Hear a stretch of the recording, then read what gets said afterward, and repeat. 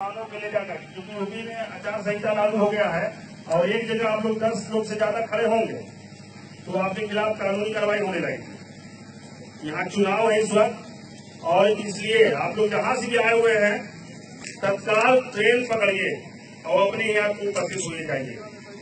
क्योंकि कानून का नज़र है, पुलिस की नज़र है सब पे, और सबका फ़ोटो खिंचा रहा है। तो यहाँ एकदम रहना समझिए कि एक तरह से अपराध वाले, अपराध वाला प्रवृत्ति काम करना है। इसलिए जितना जल्दी हो सके अपने लोगों को कहिए कि तुरंत तत्काल ट्रेन पकड़े।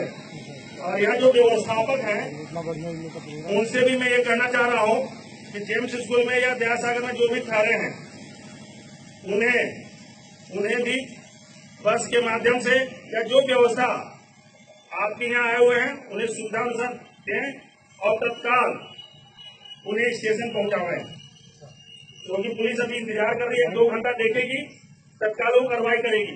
वो अपनी सुरक्षा के लिए और ऊपर अपना जवाब भी उन्हें खुदवासा को देना है। मैंने क्या किया? इसमें यही है कि आप तत्काल उन लोग को जहाँ से आए स्टेशन पहुंचावे और उन्हें उसी तरह से जिस रूप में आए थे, उसी रूप में विदा हो जाए। धन्यवाद।